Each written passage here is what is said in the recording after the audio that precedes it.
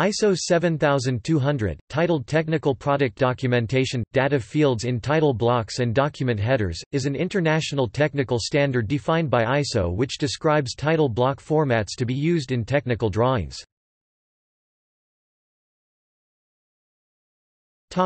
Revisions ISO 7200-1984 ISO 7200 to 2004. Topic: Other ISO standard related to technical drawing. ISO 128 for the general principles of presentation in technical drawings.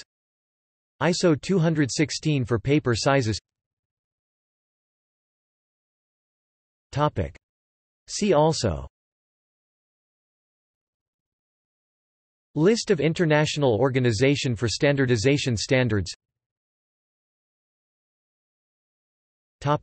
References